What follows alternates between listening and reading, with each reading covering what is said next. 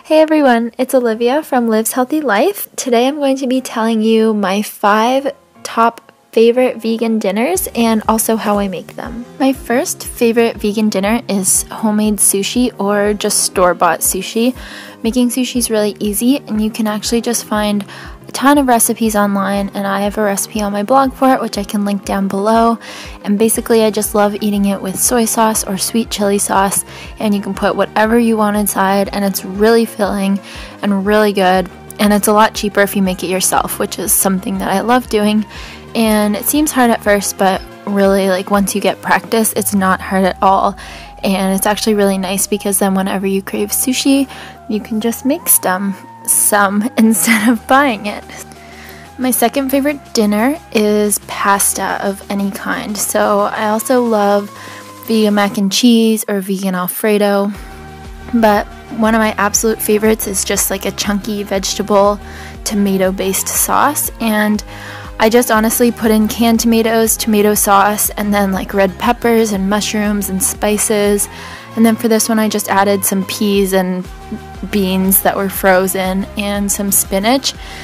And this too is so filling, and you can put like some vegan parmesan on top or vegan cheese, or you can just, you know, do like salt and pepper. And yeah, it's really portable too, which is nice, and you can make a big batch ahead, which is also awesome. So, yeah, that's my second favorite. My third favorite meal is pizza. So, vegan pizza is super easy to order from a pizza place. Um, you just order basically any vegetables that you want and no cheese.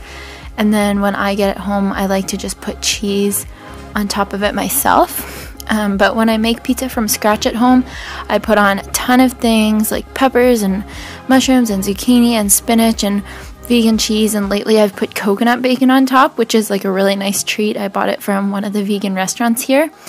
And yeah, that's absolutely amazing. Um, you can also put like, you know, tofu or nutritional yeast or anything like that. So, vegan pizza, so easy to make and so, so good.